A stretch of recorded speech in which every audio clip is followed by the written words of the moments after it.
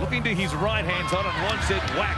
Pops that. Here's a chance. Ramien on the outside of Vilea. Back on the inside, Katoa. Hynes is there. The Sharks off and running, and Nicho Hynes wins.